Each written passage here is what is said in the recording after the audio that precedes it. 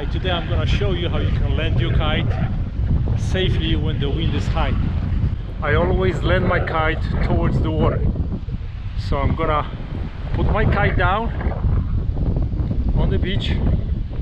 I let go of my board. I take a couple of steps upward.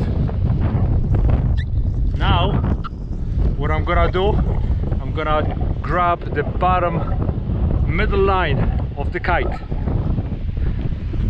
and then I'm going to pull the kite 45 degree upwind to self-land it. So watch what I'm doing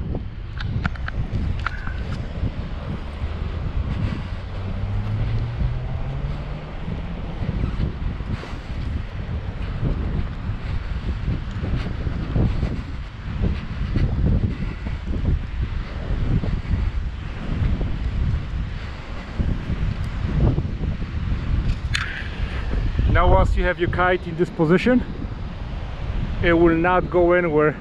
Just watch position of your hands